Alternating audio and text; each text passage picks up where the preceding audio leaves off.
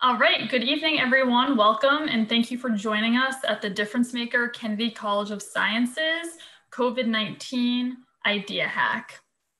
My name is Holly Butler, and I am the Entrepreneurial Initiatives Program Director for Difference Maker.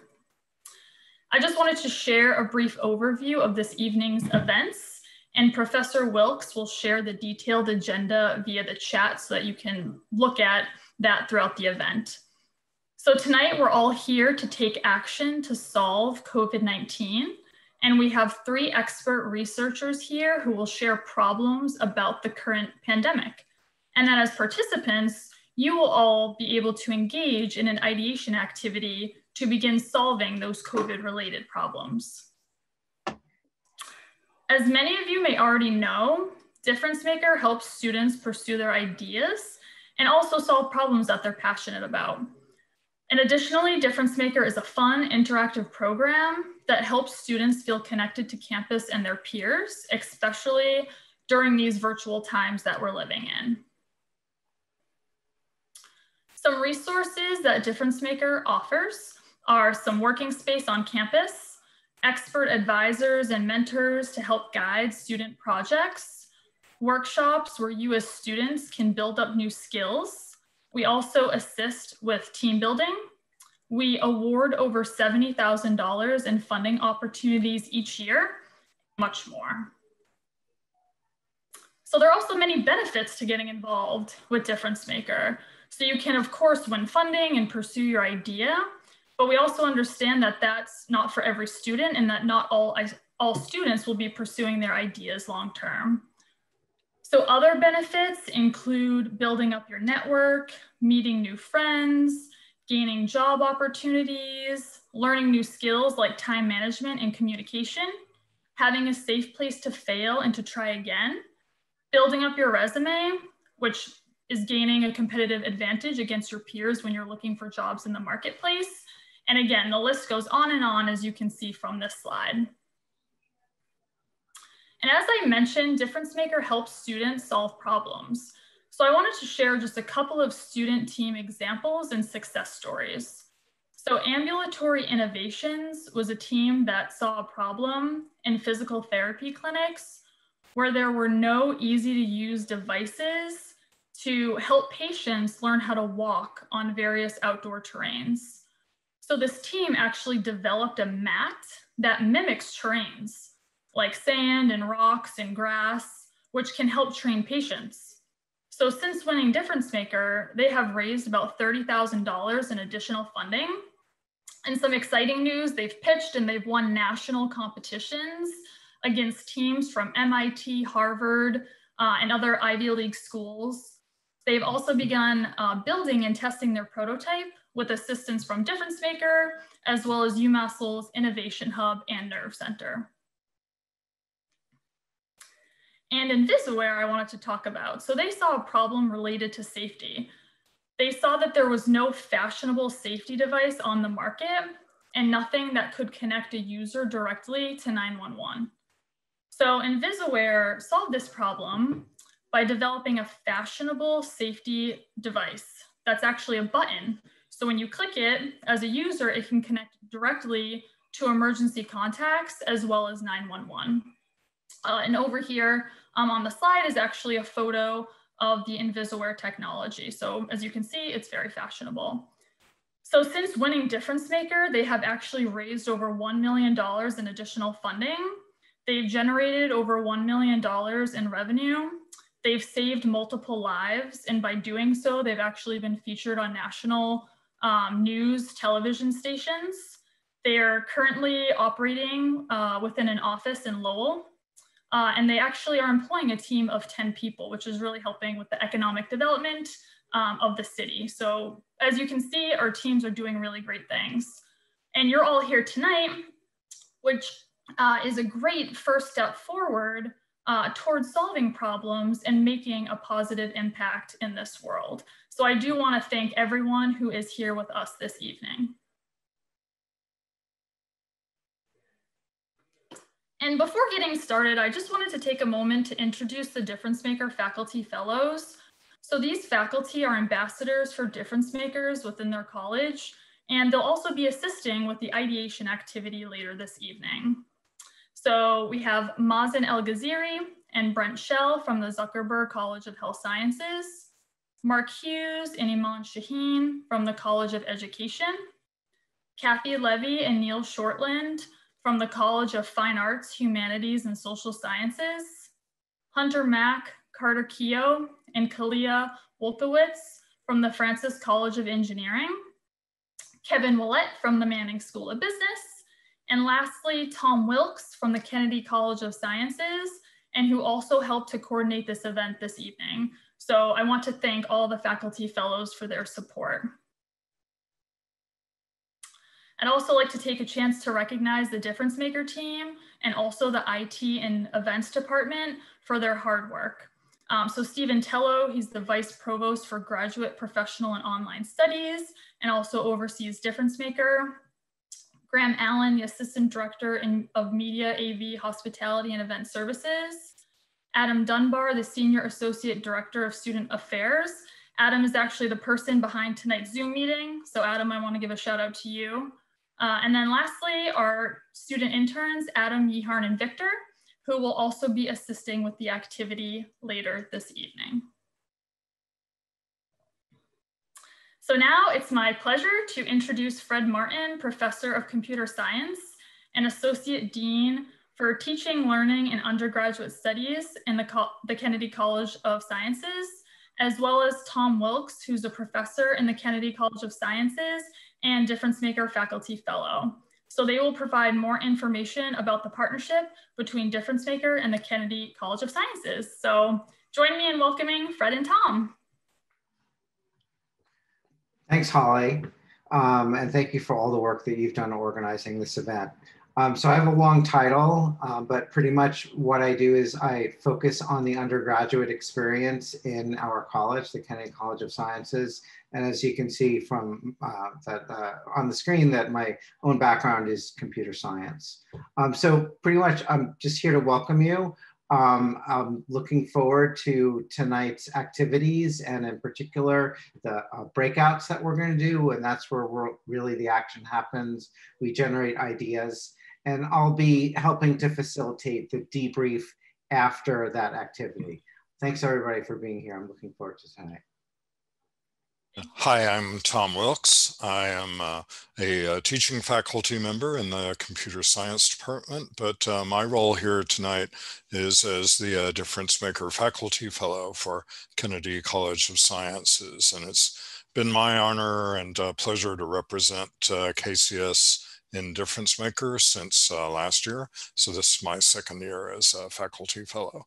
Um, I'm really uh, glad that uh, the dean and uh, Fred Martin came up uh, with the idea for this uh, particular um, meeting. This is our first uh, event that we're co-sponsoring between KCS and Difference Maker. So hopefully it'll be one in a long line of events like this. And like to uh, thank Holly uh, for putting all of this together and our IT partners uh, for making it uh, possible. And uh, I'll be uh, talking to you again just before our ideation activity begins. So I'll sign off for now. Excellent. Thank you for your support and collaboration, Fred and Tom. It means a lot to Difference Maker and our students. So now it's my pleasure to introduce a very strong advocate of Difference Maker and its students, especially within the Kennedy College of Sciences. So as Tom had mentioned, the success of this event is due in large part to his support um, and sort of coming up with this idea and working with us on it. So please join me in welcoming uh, Noureddine Melikechi, uh, the Dean of the Kennedy College of Sciences.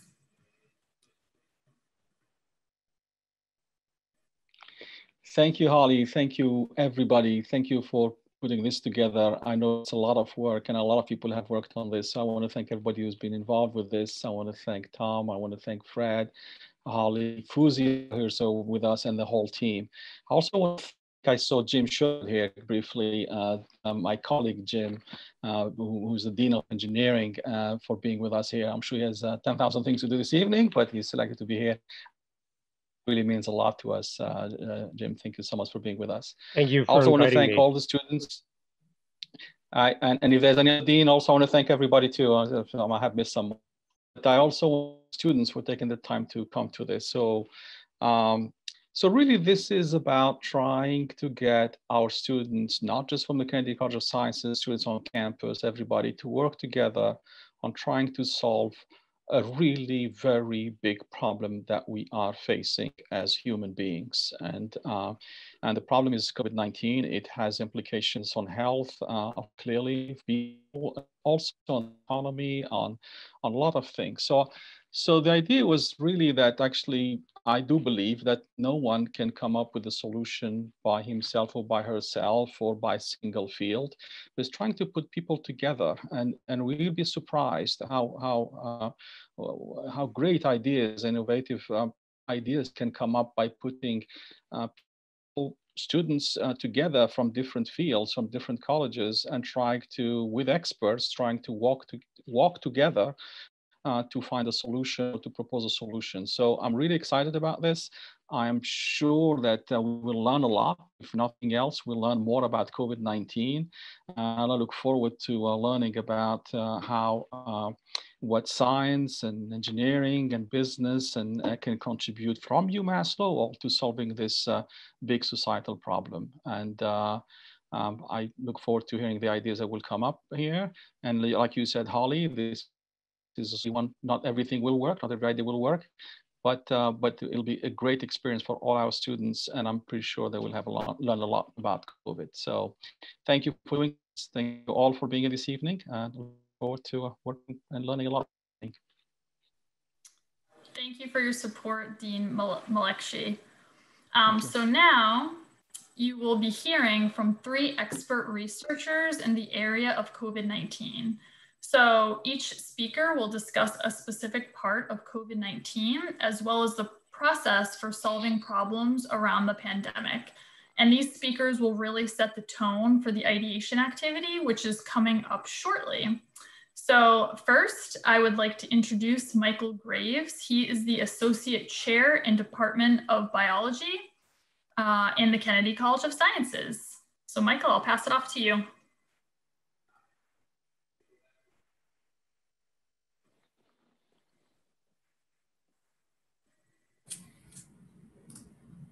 All right, is my screen up?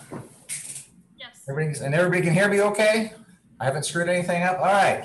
So welcome, uh, good evening. I'm going to start out being a biologist and a virologist and telling a little bit about the COVID virus, what it is, and why it's a challenge, and why it's it just it, actually it's just an interesting virus in and of itself. But why? What are some of the challenges with this? So COVID is basically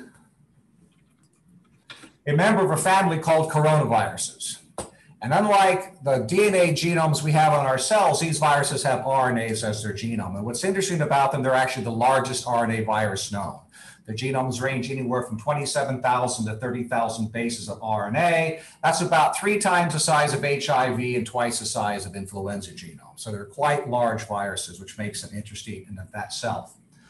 You look at the virus particle, this is called an envelope virus. It has a membrane around the side of it. And what I'm going to talk about here is we keep hearing about these things called the spike proteins up here, these little spikes on the surface of the virus. So all animal viruses, in order to get into a cell, there has to be some protein or structure on the surface of the virus that's going to attach to something on the surface of the cell. And that's what determines what cell the virus is going to attach to what virus, is, what cell the virus can infect attachment protein to the virus, and does the cell basically express the protein to what that thing can attach? So the spike protein of um, here, so the spike protein of coronavirus attaches to something on the surfaces of a cell called ACE2 or ACE2. All right, this is a protein then that's involved in regulating blood pressure. All right, and it's present on cells in the lungs, the arteries, the heart, the kidney, the intestines, which means this virus can actually has the potential to infect a lot of different organs and tissues because of the, the where, where, this receptor resides. It's on a lot of different cells, which means the virus can attach to and infect a lot of different types of cells. All right. So if we look at the family, this is a very large family of viruses. There's viruses of the humans and pigs and cats and dogs and bats and birds. And they basically cause a lot of different types of diseases. So it's a very broad virus, and infects a lot of different types of animals and causing a lot of different types of diseases. Okay. In humans, coronaviruses are actually responsible for about 30% of the common colds in humans. They also tend to be associated with outbreaks. When somebody says, oh, there's something going around at my work, or oh, there's something going around at my school, there's a tendency for those to be coronaviruses because they can be very highly contagious. So some of the coronaviruses of note to us and humans, there's, there was a severe acute respiratory syndrome, SARS coronavirus, which appeared in China in 2002, mild respiratory disease all the way up to death.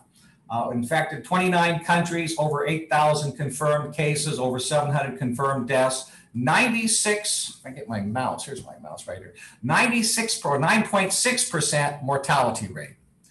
There have been no new cases of this since July 2003. Part of the issue is probably because of the high mortality rate. You kill, you kill your host too quickly, the virus doesn't spread as far. There's then the Middle East respiratory syndrome, MERS coronavirus, which appeared in Saudi Arabia in 2012, anywhere from asymptomatic to death, and then various respiratory illnesses. 27 countries, 2,500 confirmed cases, 800 over 800, 800 confirmed deaths, 34.4% mortality. This is still ongoing. This virus still appears in the Middle East. All right. Now, this is interesting because it has a high mortality rate. So, why did it never become a pandemic? You know, why did this never really spread? And part of the issue is the fact that this virus does not spread human to human very well. It only spreads under human to human under very close contact, like in healthcare settings. So that's one reason it never went to a pandemic. Does it's not very efficiently spread, and also because it has a 34.4% mortality rate. So how is it still out there? We'll talk about that in a second about why that virus is still out there. Then, of course, we now have COVID or SARS coronavirus 2 that appeared in China in 2019. As we all know, it can be anywhere from asymptomatic, mild respiratory diseases up to death. Some other interesting symptomology that's associated with this virus, this thing called a cytokine storm.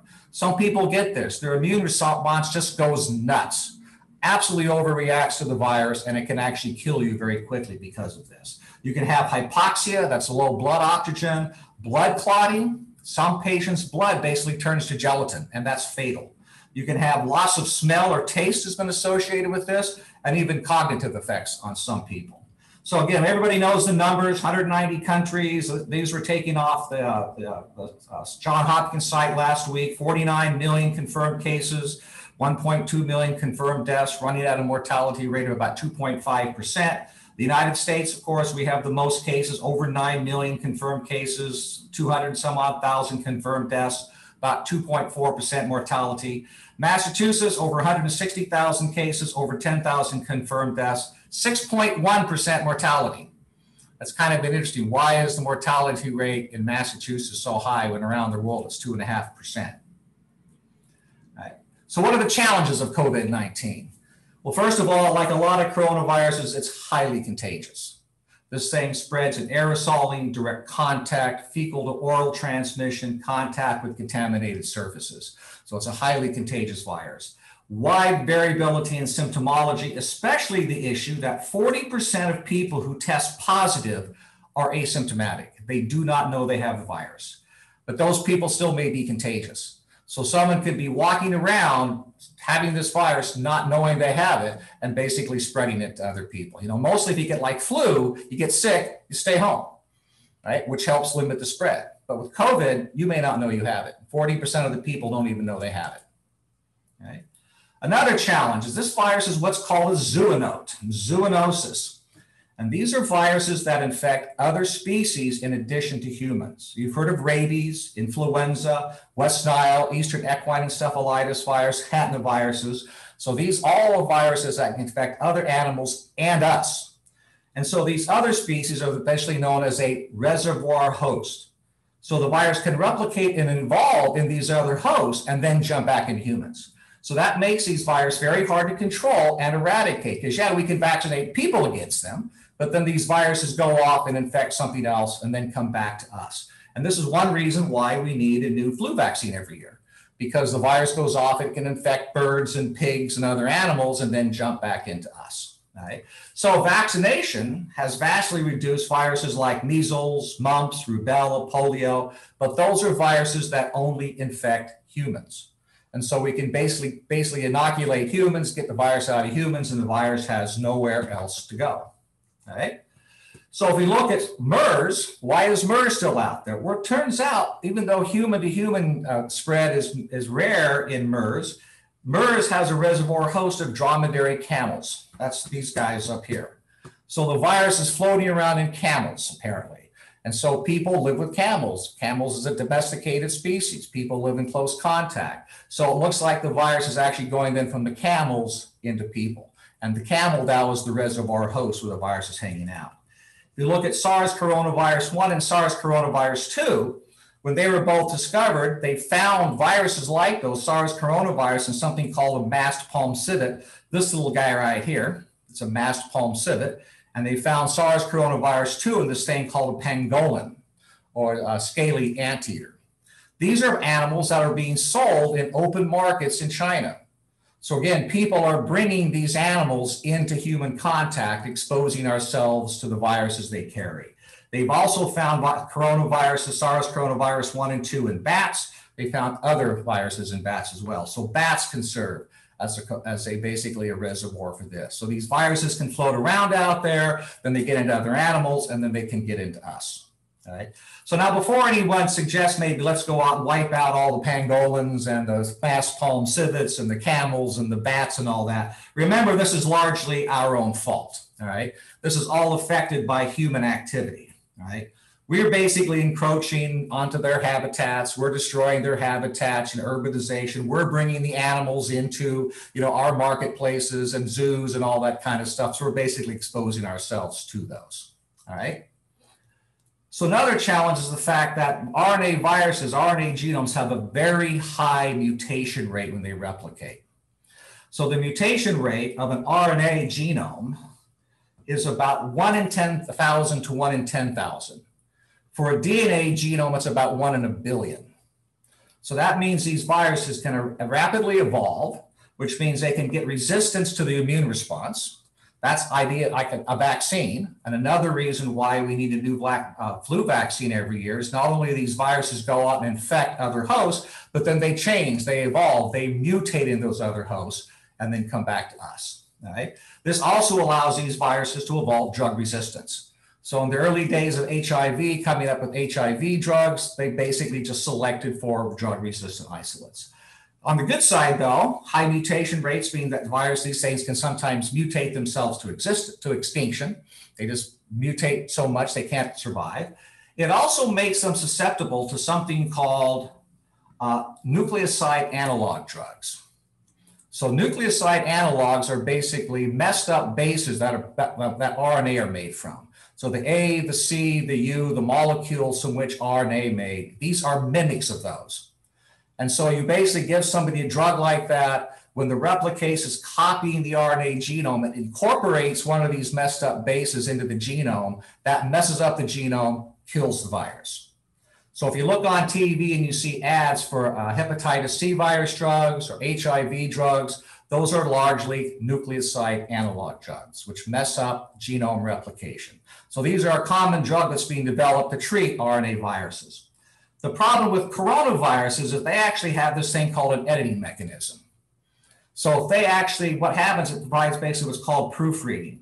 So basically, if the virus is replicated its genome and it incorporates one of these analogs into the genome, the editing function can remove it, repair it, and the virus then continue to replicate, indicating that these viruses might be resistant to these common types of drugs. So that's a, that's out. So basically, a drug resistant mechanism might be a, a challenge with coronaviruses. So now, as we're thinking about coronaviruses, how we're going to this pandemic and how we deal with it, the other thing we have to kind of do as well is kind of think ahead to the next pandemic, because it's not if, but when and what, right? Another coronavirus, possibly. We've already had now three coronaviruses come out and animals into us in the last couple in the last two decades. What about influenza? There's Spanish flu of 1918, 1920. 27% of the world's population was infected with that. Death toll of anywhere from 17 to 100 million people. The swine flu outbreak of 2009, anywhere from 700 million to 1.4 million cases of that. You've ever heard of the Disneyland measles outbreak in December 2014, February 2015?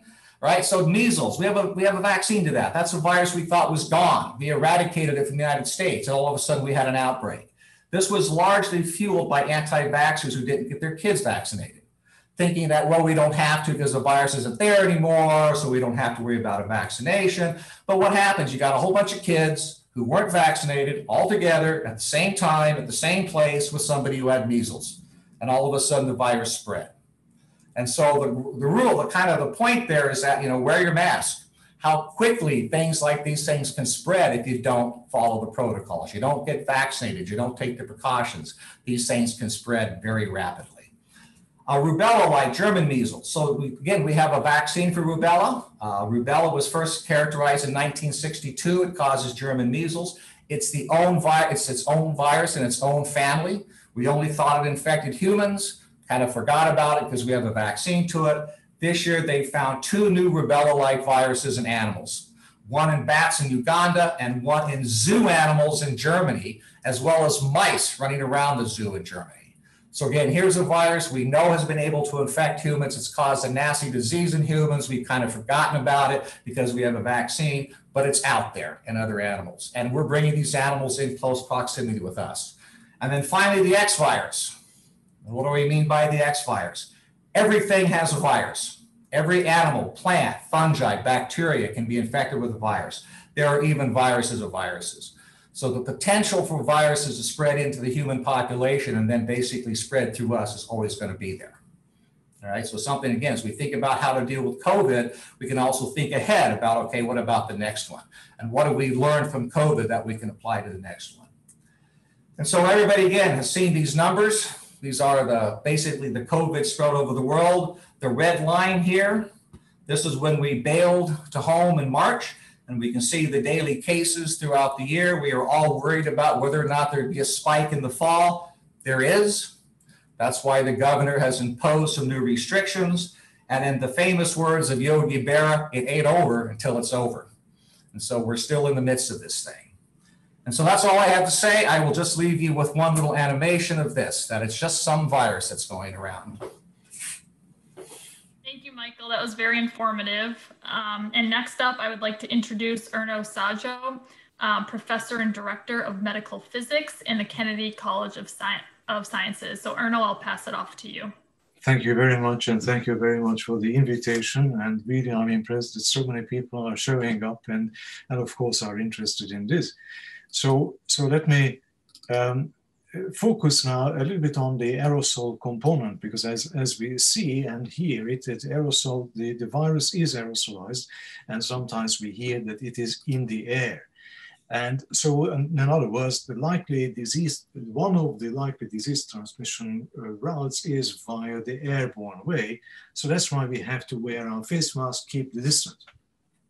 And one of the, uh, one of the overarching concerns is that once you are in a building, eventually, hopefully, we are going to try to open up our lives to, to normalcy. Uh, the building HVAC system can potentially pick up the virus in a room where there is a COVID patient who might be silent, silent in a sense that, that uh, there, is, there is no obvious signs of being ill, but still, even at that stage, the person can contaminate and can spread the virus. So the HVAC system, by way of their intake, can pick this up and spread in theory, at least, not just theory actually in measurements, uh, it can spread to other rooms. Not only that, uh, the HVAC system can also become contaminated because the virus will plate out, will deposit, settle onto surfaces, and then become can become re-aerosolized. In this way, it can spread the virus after the room where the patient is empty or has been even contaminated. So this can go on for a period of time. So in this way, potentially a fairly large population can be affected in universities, of course, because of classrooms, hospitals for obvious reasons, and, and even office buildings and homes. The, the uh, question is, of course, that once this exhaled, aerosolized, how does it look like? coughing, sneezing, and normal talk will all result in a generation of saliva droplets of various sizes. And here is here's an example that you can, oops, here's an example that you can see here, which is uh, by some, some noted researchers who measure this, this doesn't happen to be COVID uh, virus, this is just saliva droplets as we cough, exhale, or sneeze. They're just about the same way they behave. The size distribution is just about the same, except the number of them or the total volume that is excreted is different. And as you can see, this is a size distribution. On the horizontal axis, you see the diameter of the particle. This happens to be in microns. And uh, on the vertical axis is either the number of them, or in this particular uh, figure, it's is the partial volume that, that, that uh, is, is, a fractional volume that occupies uh, a finite compartment. And it's a multimodal distribution. So it has many different modes or peaks. As you see, the most dominant one is about eight microns, but extending down to about one micron. the droplet size, that the overall range is, is between roughly one and 30 microns. And each one of these droplets may contain some viral RNA copies. And as you heard, the single virus is roughly between 120 to 160 nanometers. So one aerosol droplet, one saliva droplet can contain multiple, maybe none, maybe one, two, or multiple viruses. So that is a subject of intensive research of how many uh, viral copies uh, the, the aerosol droplets may contain. And these droplets, of course, become aerosolized. So, so what does it mean? That that uh, aerosolized. It's you know aerosols are fine particles or droplets that are suspended in air. They are so fine that they can be indefinitely suspended because of normal air currents, air movements in an enclosed space. For example, in a classroom, well, maybe at a home. The, the air speed is approximately two centimeters per second the in, in, in, in a classroom environment where it's forced ventilation, it's about five centimeters per second. And the reason why we have these low air speeds is because otherwise humans would feel that the place is drafty. It's going to be very uncomfortable to sit and, and work. The aerosols in this way suspended are the proverbial moving targets. In fact, worse than the moving targets. It's, it's a nightmare to track them down. They can collide midair. If, if you have high density of aerosols, they can collide in midair because of air motion, differential air motion, and because of many different uh, uh governing forces, even acoustic forces will drive these particles, electrostatic forces, gravitational settling, etc., Brownian motion, will all lead them to coagulate, or sometimes we call them agglomerate, and form larger particles or droplets. They also tend to deposit onto surfaces via diffusion, gravitational settling, and, and if it's in a moving airstream, by inertial impingement. Diffusion deposition, diffusion deposition doesn't seem to be a very, very dramatic effect, right? Well, no, if, the, if, if you're looking at in the middle of the room. But if the particle is close to a surface, diffusion can become a very effective way to deposit. And especially if the surface is cooled surface, we, we have a, a, an, an effect called thermophoresis. These particles can also evaporate if they are liquid.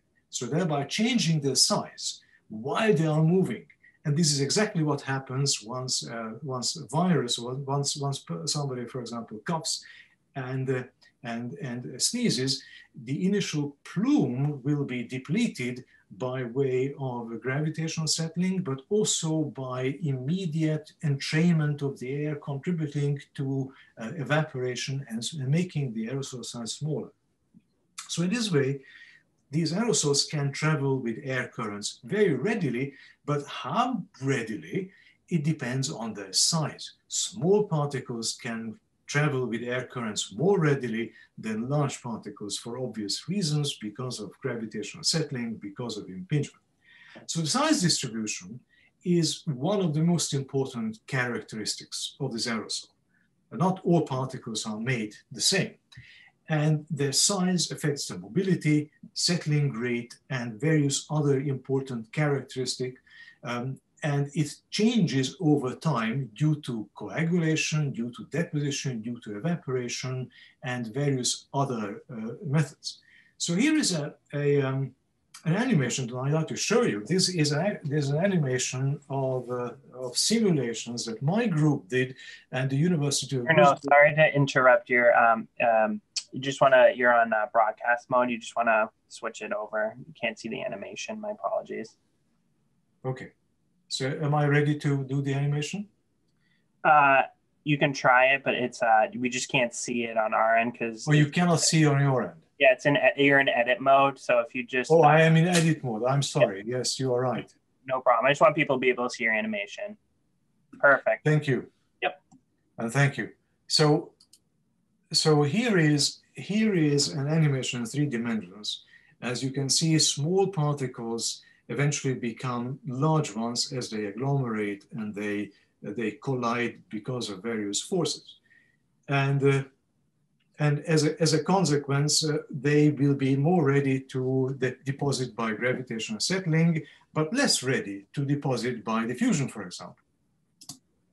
Here is another animation that shows an initial particle size distribution to, with two modes, one in the lower end and the other one in the higher end. And as you will see, over time, the large particles will deplete. They fall to ground, literally. And uh, dramatically, small particles are much less effective. So this, this is how it, it changes. And let me rock it back and forth to show you how quickly the high part, the large particles settle on, on, onto, onto surfaces, while in the same time, the smaller particles barely undergo any uh, change over, over a long time interval. It takes a long time interval for the small particles to settle or somehow get removed from the um, aerosol field. So what is important here is the diffraction that deposits. It becomes fomites. So they will, you can, by touching things, you can pick it up. And by touching your air, uh, your, your face, eyes, um, uh, uh, you, can, you can get infected. The fraction that remains airborne is the smallest droplets. And that is usually in what we call the respirable range. The respirable range of an aerosol is that size range which has the potential to reach the deepest layers of the, of the lung, the alveolar region. Um, and this is the least likely to settle out. This is the least likely to undergo various other mechanisms that will remove them from the air. So this, this is a simulation. This is actually real COVID simulation um, using uh, COVID excretion rates by coughing the um, in in a uh, in a room uh, which is poorly ventilated, and uh, we place uh, there's an initial size distribution by the initial cough of a patient in this room, in this poorly ventilated room, and over periodic coughing, which has been measured by investigators, um, uh, on average, a COVID patient overnight uh, coughs about on about four minutes per, uh, uh, per cough on average. So overnight, the, because of the, of, of the uh, uh, preferential depletion of the larger particles, the buildup of the large particles in the air is not as dramatic. So as you can see here, these are the largest particles. These are the eight micron particles. They build up over time as the patient is coughing in the, in the room by a factor of about maybe eight. In the same time, the buildup of smaller particles is dramatically by a factor of about uh, uh, two orders of magnitude, as you can see. It's a factor of about 100. And that is because particles in this size range are not being depleted, they, they stay airborne, while in the same time, small, larger particles evaporate largely so from large particles, it becomes small particles. And in this range, as you see, suddenly particles that are smaller than the initial particles that were carved out suddenly start to appear. And that is because of the evaporation of very large droplets over time. In the same time, the, uh, these larger particles uh, uh, deplete at a higher rate than the smaller rate. So that's why you see this lopsided evolution. The uh, problem with this, the buildup of these very small particles is that face masks and filters are less effective in this range. The bad news is that if a, uh, if a smoke particle can go through a face mask, then a virus can also go through the face mask because they are just about the same size range. Some smoke particles are much smaller, so not all smoke particles are about the same as a virus. So it depends on what smoke you are looking at, but generally you can compare them to small particles. So here is a, um, an animation, and this is also based on computer simulation in an HVAC system. And this is a wireframe um, where you can see this is a source of aerosols. This is actually a, um, a, a, single cuff of an aerosol. This, is, this happens to be COVID aerosol based on published data. And this is a wireframe of a simple duct system with an elbow in it. So it connects one room to the other room. We put, I put a, a, pressure differential between the two rooms, which is simulating, you know, air conditioning or, or, or HVAC behavior and see how this uh, one cuff, which is uh, presumably picked up by the register in one room, will transport it to another room.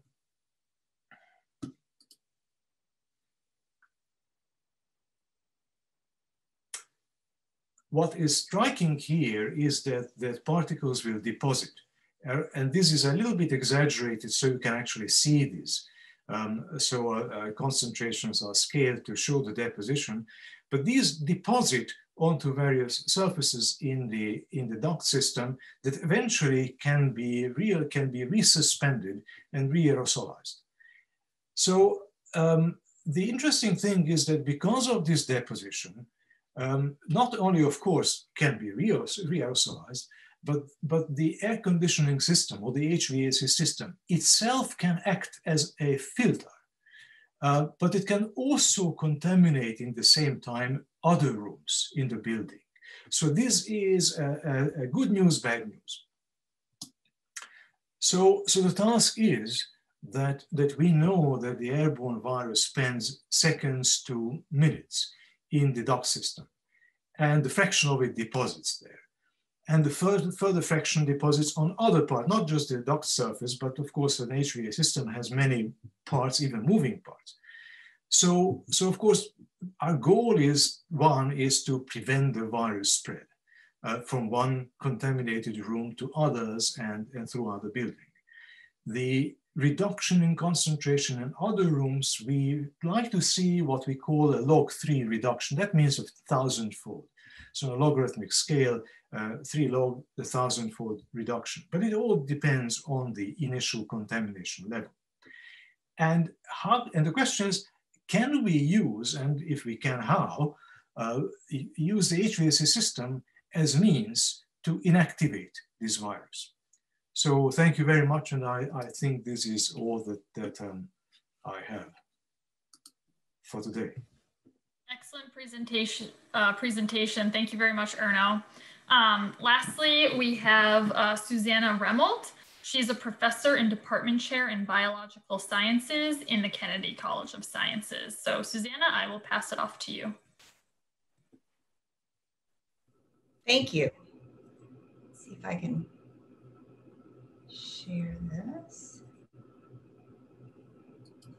So is that working? Can you see my slide? Okay. Um, I am going to shift gears and not talk about COVID. What I'm going to talk about is the process of what do we do when we have a good idea. So, what we're about to do is go from a listening mode um, into an active mode. And I want to discuss a little bit how the scientific process influences the way that we go about doing this. Um,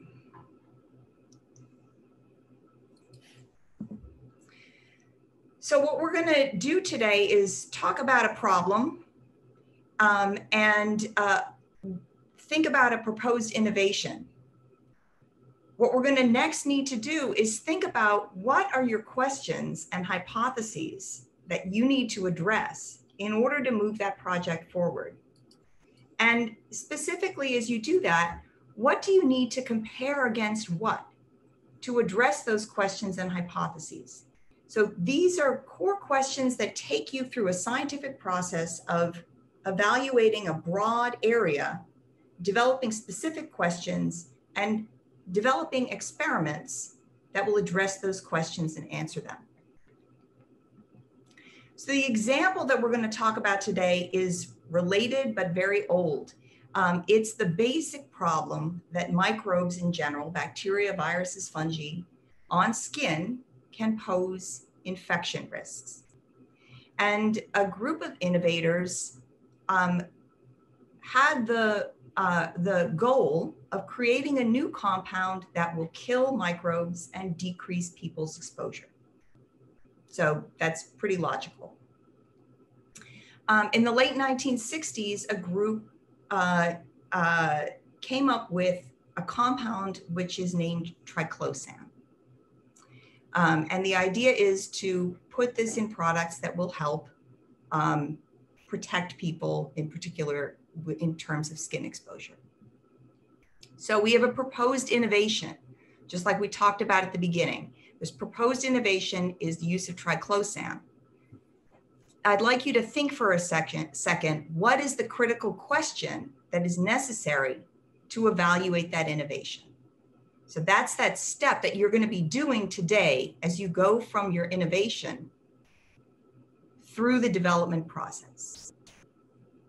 So what these people did, and many people working with this compound, is ask the question, does triclosan kill microbes well? Um, to talk about how they evaluated this, we need to briefly uh, identify this, this, um, this approach, which is to quantify a minimum inhibitory concentration, which is the lowest concentration of a compound that can inhibit visible growth.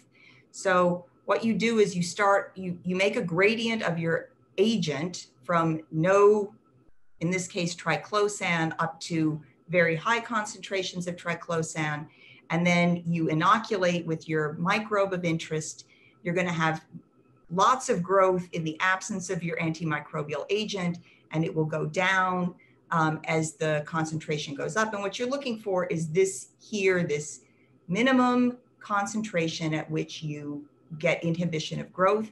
And you want this number to be as low as possible. That means that you need little drug or compound to have a strong effect in terms of inhibiting microbes. So a low MIC means that the compound is more effective at killing or inhibiting growth of the microbe being tested. So this is uh, quite an old experiment. Um, uh, and there's many, this is one out of many. So this is a heavily studied compound. Um, but this group quantified the MIC of triclosan and they looked at many different kinds of bacteria, yeast, and fungi, right? Because this is the, goal of this is to have it uh, be useful in a broad sense, not for one particular pathogen. Um, and they tested many different types of antimicrobials so that they could compare triclosan against other things that are being used uh, for um, uh, other other antimicrobials that are currently in use. And basically what they're looking for is a pattern like this. They wanted to see that their triclosan was going to result in a lower MIC than all of the other compounds that they were looking for. And they wanted to see that across multiple bacterial species, viral species, so on. So what they concluded is that of the substances they tested, triclosan was found to display a high degree of activity against most of the tested organisms. In other words, the MICs were low and, uh, and they got good killing or inhibition. And they found that triclosan had the broadest spectrum of chemotherapeutically significant antimicrobial activities. So they concluded, and, and many others concluded, that triclosan was a good candidate for use in uh, antimicrobial products. And in fact, um, it was very it very soon after its development it was found in products for uh, cleaning skin in hospitals but by 1972 it was also available in over-the-counter personal care products like soap i'm i'm sort of pulling out soft soap here but dial was the biggest company um, that sold triclosan containing antibacterial soap and did so for many many years okay are we done here? Well, it's a little bit like the protagonist is, you know, in the in the battle midway through the movie. We must not be done, right? So what is still missing in this story? And I'm going to give you a second to think about it. What's missing in this story? So this first study that I showed you compared triclosan against the wrong thing given the proposed use. They compared it to either no intervention or to intervention with, um, with other antimicrobials. What they needed to compare it to was the current most effective intervention. At that point, the most effective intervention, the most commonly used intervention was soap. So this is a different study from 35 years later about um, where the efficacy of triclosan in personal care products is being tested correctly. So again, like the previous study, these researchers looked at survival of many different bacteria in the presence of triclosan. But they only had three treatments. They didn't look at a whole bunch of different antimicrobials. They looked at no product at all, soap alone, and soap plus triclosan. And that's it in this study. So their data looks something like this. This is the bacterial population size with no product, with soap alone, and with soap plus triclosan. And if you compare no product to soap alone, you find that indeed triclosan with soap kills bacteria. So does it kill bacteria? Yes, it does.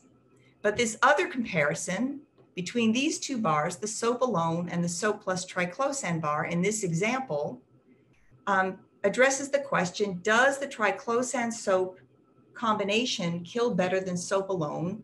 And the answer in the graph I'm showing you here is no, it does not. And in fact, these are their data from uh, tests of a, a, large number of both gram-positive and gram-negative bacteria. And you can see again and again, there's no difference in the effect of soap alone, cleaning with soap, relative to adding the triclosan. So they conclude antibacterial soap containing triclosan was no more effective than plain soap at reducing bacterial combination when used under real life conditions. So, what's important about that? Here, the proposed innovation was to create a new compound that will kill microbes and decrease people's exposure. Actually, there are two relevant questions here.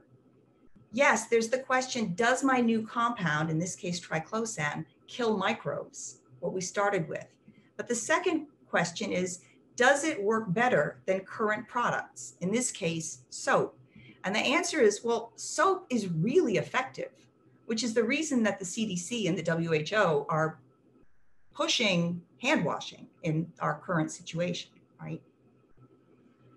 So this is uh, this is really the close of the story in terms of that the exercise of thinking about your product, your questions, and what's the appropriate comparison, right?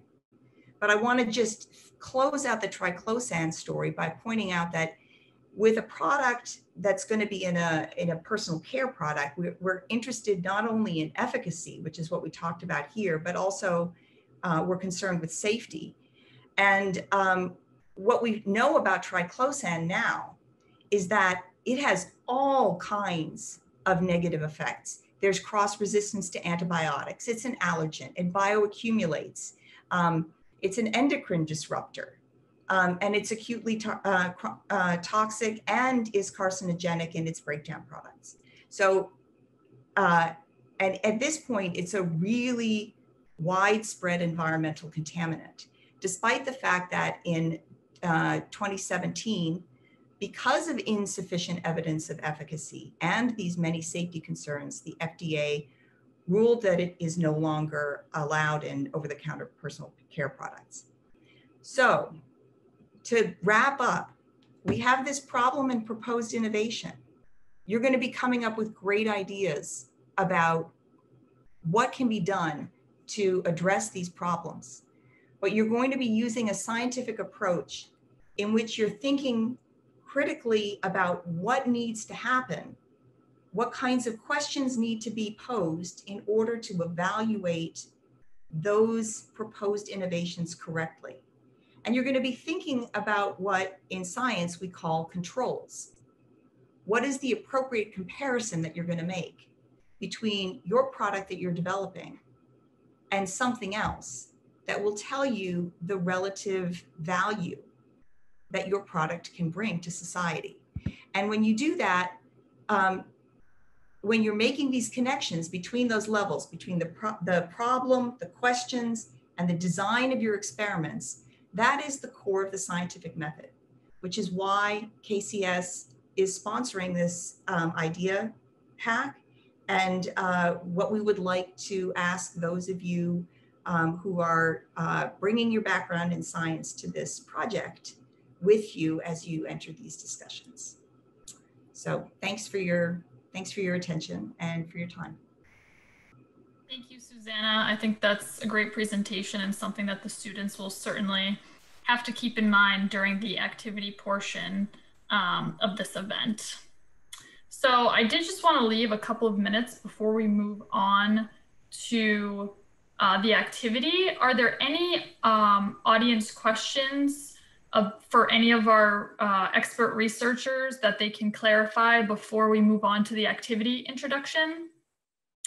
please feel free to ask verbally. Um, but if you don't feel comfortable with that, you can certainly chat your questions in as well. So any questions?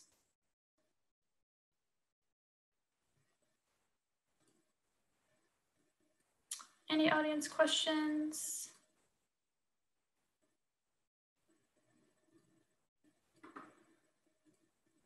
All right. So at this time, it doesn't seem like there are any audience questions. So I'm going to move forward with um, introducing Professor Wilkes again, uh, and he is going to introduce the um, activity that you'll be working on for uh, the next um, part of the event. So Tom, I will pass it off to you. Thanks, Holly. And uh, I've just reshared uh, the activity guide that I had shared uh, towards the beginning of the meeting in case anyone joined later and uh, was not able to get that from the chat. Uh, so uh, let me uh, share my screen. I'm going to present uh, the uh, activity guide that I've just shared the PDF version of. And um, let me go to presentation mode. Hopefully. All right, there we go. So in our uh, activity, uh, IT will be breaking us into uh, eight breakout rooms, uh, so eight groups. And uh, in each of the eight uh, breakout rooms, there will be at least a couple of facilitators. Um, I will be one of the facilitators and all of our um, Difference Maker Fellows are also volunteering uh, to be facilitators as well. Uh, there will also be other uh, faculty members who will be um, sort of bouncing between the rooms as well. And I believe uh, the Dean is uh, going to be visiting uh, various rooms also.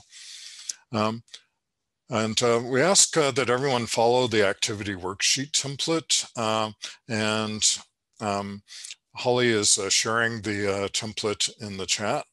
Uh, so you'll have that available to you uh, when you go into the breakout rooms. Um, the first activity is uh, to uh, identify a COVID-19 related problem. And at this point, you're not looking at a solution, uh, but you're looking at a problem uh, related to COVID-19 uh, that you want to solve. so we can have as many volunteers within your group as you want, volunteer a problem. And then the group will discuss those problems and as a group, pick one of them uh, to focus on for this activity. And it's not a judgmental thing. You're basically going to identify one that the group wants to run with, uh, but uh, you could have other uh, problems that are identified that uh, might spark ideas and uh, be things that could be pursued later.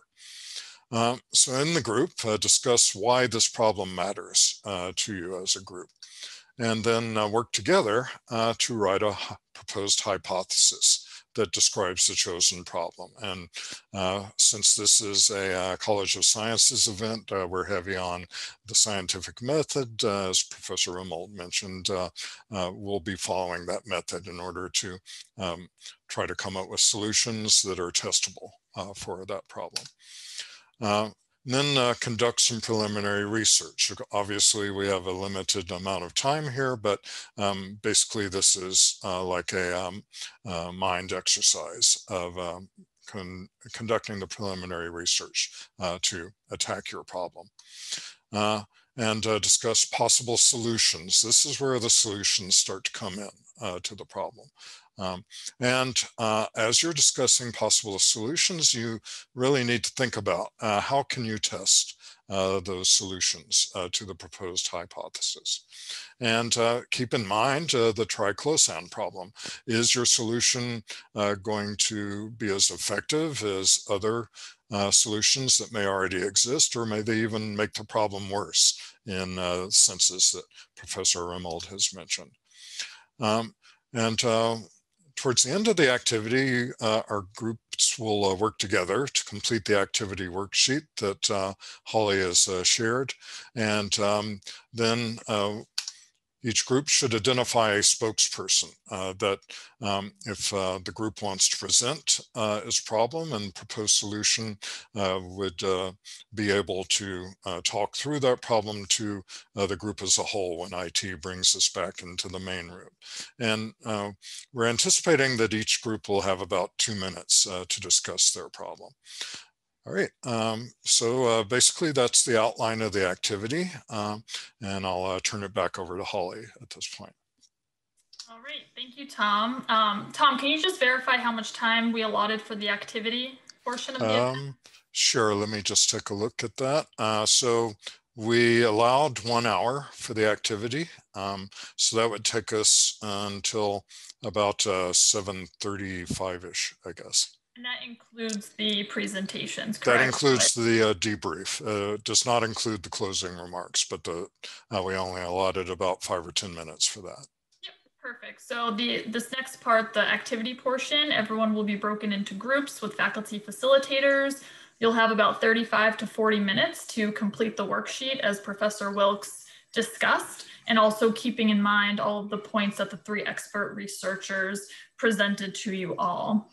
Um, so after the 35, 40 minutes, uh, we'll bring you back to the main room.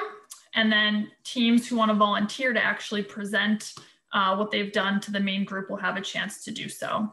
Um, and we will give reminders through the chat just so you know when there's about 10 minutes left and five minutes left for the activity. Um, so with that being said, are there any questions before we break you off into your groups? Right. Uh, Holly, by the way, I'm not seeing the uh, Word doc in the chat. I, I see that you had um, said that you were going to share it there, but I don't see the file uh, as such. Yes, so I oh, oh, I do see it. Sorry. Okay.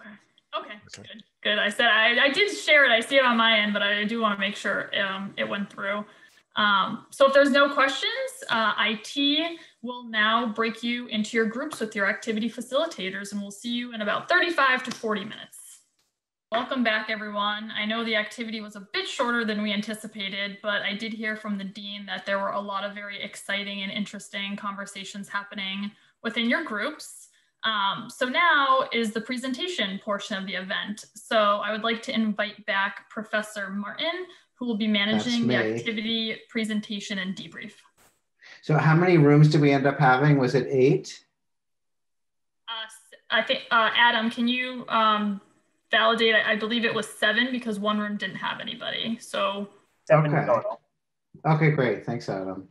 Um, so I think what we'll do is we'll go in order from one to seven, and I'll invite one person from each room to share out. And please keep it, your presentation brief, just the highlights. There was a, a long list of uh, probably 10 different prompts. Don't feel like it's necessary to answer them all, but really just capture what's the kernel of your uh, the idea that your team developed, and maybe um, yeah, and and and what's exciting to you about it. So can I have a volunteer from group one to share out? And this will be oral presentations. There's no need to do a screen share. So who's going to talk for group one? Ideally, it's a student. Okay, so now I'm at a loss here because I don't know who was in group one. So I can't call on anyone. So. I uh, think I was in group one. Okay. Was, was my Kayla. group one? Yeah. Yeah, Michael's saying yes. Okay. so we talked about the um about the finances and education, how um, you know, the how right now education's being impacted in a lot of schools have gone remotely and some parents have decided to pull money together and have pods well that's great for some students but then there's other students who are not receiving that instruction at home so we talked about that. We talked about a lot of problems. And then we talked about, you know, learning online and the issues from there. I don't know if anyone else in my group wants to add on to something I might have forgotten. Did you have any potential solutions? We never got to that part because we were talking too much about kind of defining the problems. Because again, there's uh, one of the, I guess one of the things was overriding thing was the inequity that has been created by this. That's right right, in education and Thank you for highlighting that. afford to go, you know, and the students who don't have the resources. So we were kind of trying to whittle down, you know, what is getting it down to a tighter problem, but it was kind of that bigger global inequities that this has caused, and how do we deal with that? Thank so, you, Kayla and Michael. Thank you. Yeah. Okay, how about group two? I believe I was group two. All um, right, Ryan. So we each presented a problem and we noticed an overall theme of information, whether um, and lack of correct information or lack to access of information.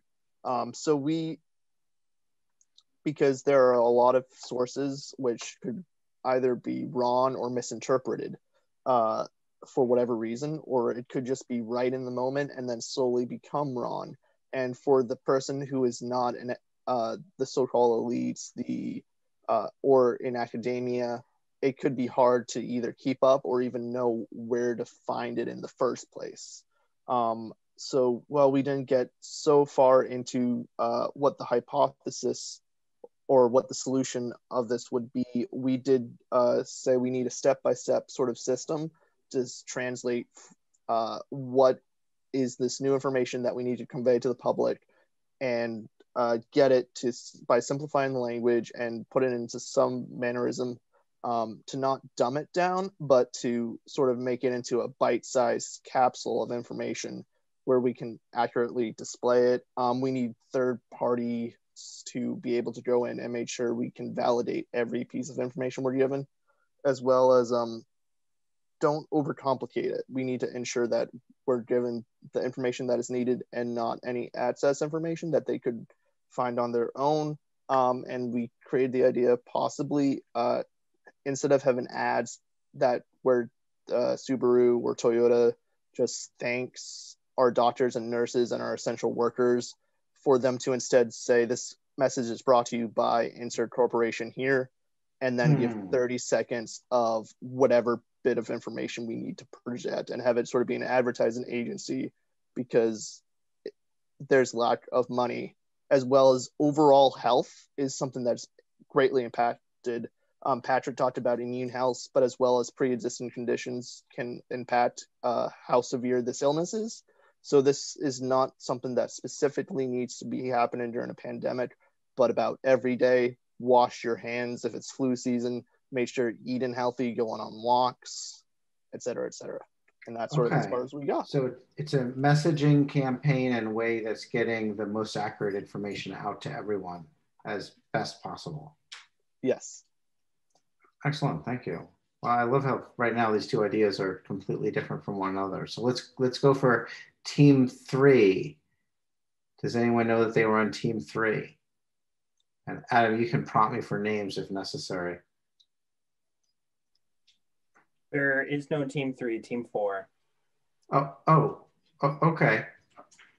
All right, so let's go to, te- oh, maybe we skipped. So team four, who is a member of team four and would like to share? Hi, so my name is Shelby and I was a member of Team 4 and some of the things that we discussed was the wide variety and the, the signs and symptoms that patients are experiencing. So we were wondering if we could create a consistent approach in collecting this data. So specifically the area that this would be best applied is for confirmed COVID patients in the ER. That's where we're most often seeing them.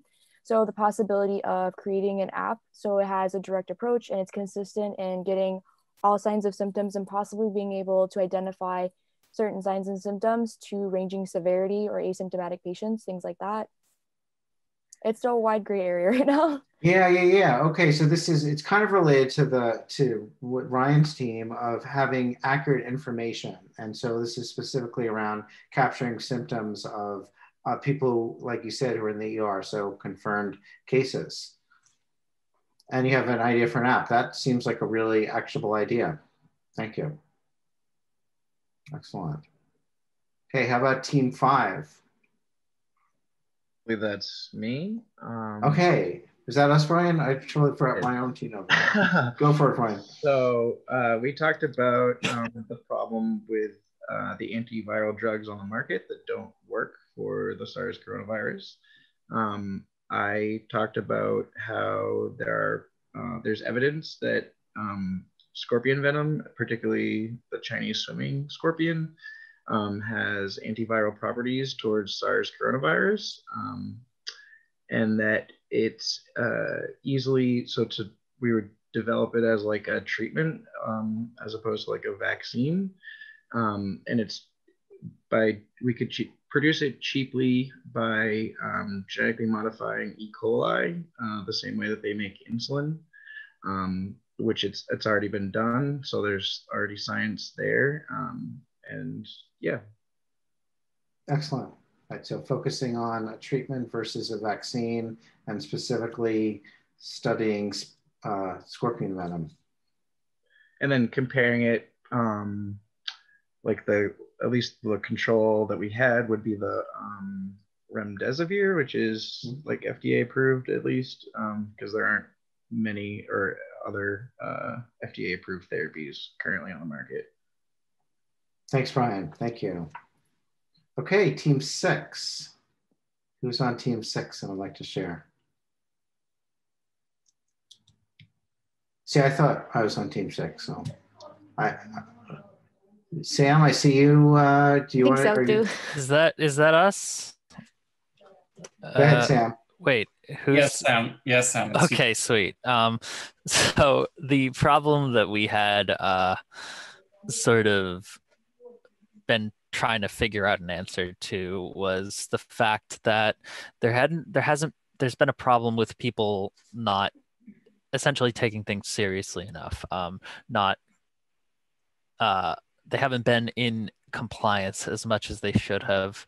We were trying to discuss um, whether this was due to a lack of information, um, uh, like, or information that wasn't that like certain people, uh, like, like I don't know, due to maybe due to a language barrier, couldn't uh, the the information couldn't reach them. We were also talking about um, how certain attitudes, I believe, towards um, the message, uh, maybe not the message itself, but its delivery and the narrative that is attached to it, sort of affects how people will react to the same facts. I guess mm-hmm. uh, we hadn't really gotten to the brainstorming a solution part. Um, cool.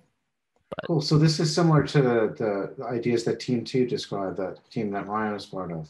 So maybe teams two and six can come together after this for follow up. Thanks, Sam. Okay, so you have two more teams, Adam, is that right? Seven and eight are the last two?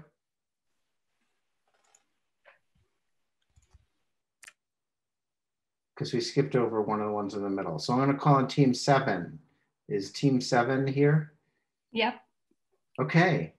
Hi everyone, my name is Shani Shadev and I'm from team seven. So the problem we were thinking to address is like how to effectively stop the community spread because right now our numbers are greatly increasing and we should come up with some solution to actually stop the community spread. We have contact tracing and everything, but we have thought that we should have some solution like automatic health monitor, especially at large settings like churches, large events, weddings, and funeral homes, so that they can automatically um, um, detect the people's symptoms and let them know that they should get tested and isolate or quarantine themselves. So we should have some automatic device to make people aware of the virus and then they should stop going into the community and spread the virus. So that's our problem and the solution. Thank you, everyone. Very good. Thank you. Thank you, Shandi. Team eight. I, if I'm counting right, we do have a team eight. Yes, I'm Adam. I'm from. okay, eight. Adam, take it away. Thank you. So the problem that we had been talking about um, was with human interaction and environment and the lack of productivity that some businesses are facing, productivity and creativity without people being able to be in person and be face to face with their work team. So um, one example we were talking about was there was an office space, for example, that um, there was a company that that they had gone fully virtual, so they weren't having to pay thousands of dollars a month for the rent for their um, office space. So what we are thinking of was with the money that um, companies are saving from paying their rent, they could potentially invest that money into rapid testing and give a day, let's say once a week, where teams um, that are working virtually are able to come and get um, rapid testing. And we were talking about the rapid testing that's being done in, um, and developed in the UK, where people are being able to spit into a vial in 20 minutes, get their results. So maybe um, adopting that uh, technology and being able to get rapid testing back and if everyone clears um, be able to have like a day per week where you're able to be with your team and with all the money that they're saving being able to provide food and activities and things like that just to kind of boost the morale of and the creativity and you know if it's an eight hour day spending four hours of work and four of play or you know what so have them for whatever they want to do but just being able to have that thing to look forward to once a week for the team so that they're you know always having something to look forward to. So kind of keeping that morale up, I guess. That's excellent. Thank you, Adam. It seems to me it's kind of related to the idea that Shandi just shared of, of on the spot testing so people know it's safe to be together. So maybe team seven and eight can come together. Um, well, that was great. Thanks, everybody. And you all described your ideas really succinctly, and it's a really diverse set of ideas. This is really great. Thank you. So Holly. I'll turn it back to you. Yes, thank you very much. Um, so before I pass it off to the Dean for closing remarks, I did just want to do one more shout out and thank you to all the activity facilitators today, as well as the guest speakers. And I did want to mention that um, Professor Suzanne Young was also here with us this evening from the Kennedy College of Science, and she helped to facilitate a room. Um, so I did want to give a shout out to her, as well as all the faculty fellows and the three guest speakers that we had this evening. And as well as the Kennedy College of Sciences. Um, and then I did want to leave everyone with a call to action. So I did mention earlier that the $50,000 Idea Challenge application opens on December 1st and it will close sometime in mid-February.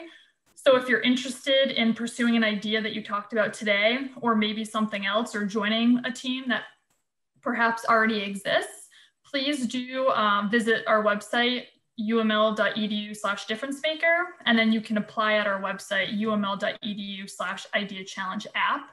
And then we also have two upcoming competition final events in December. So if you're interested in actually seeing student teams pitch, uh, you might learn something, you may meet new people, it may help spark additional ideas. You're certainly welcome to come as an attendee to either one of those events. We have one um, co-hosted by DCU and the Manning School of Business, as well as the Francis College of Engineering. Um, so if you're interested in either of those, the links are there. Uh, it's a simple Zoom registration link and you can attend and learn more uh, about pitching and seeing students actually pitch uh, in real life, in real form. Um, so with that, again, I'd like to thank everyone and I would like to pass it off to the Dean now for his closing remarks. Thank you, thank you, Holly. I um, I just want to echo what has already been said by Holly, and that is uh, thank you all for coming this evening. I think uh, uh, we've learned a lot. We've learned some science. We've learned about the virus, COVID-19. We learned about how it propagates, and we learned also about the scientific method. But actually, just going from from room to room and listening to uh, the summary of what you've been discussing today shows great, great promise. I mean, you. Um, all of you have identified problems that you'd like to work on. I just hope that we can continue this momentum and you can actually uh, do what uh, Holly just said. You can, you know, continue to work and possibly work together. There were some ideas that actually may have connections between between them, and um, I look forward to hearing, you know, great solutions and great uh, to, to this great great problem, and you'll be contributing to uh, to finding a solution to a global problem. So thank you all, and I again want to thank the faculty fellows with us uh, everybody who's here with us who'll be behind this, and in particular Holly and her team, and and, and everybody. So thank you so much for, for doing this. It takes a lot of work and I want to thank also the IT team that's behind the scene here, putting us together. And uh, thank you all and keep at it and hopefully we will find something that is uh, will have very positive impact. If nothing else, you have to go to, to know each other and work on, on real problems together. Thank you. All right. Thank have you. a great evening. Um, have a great evening.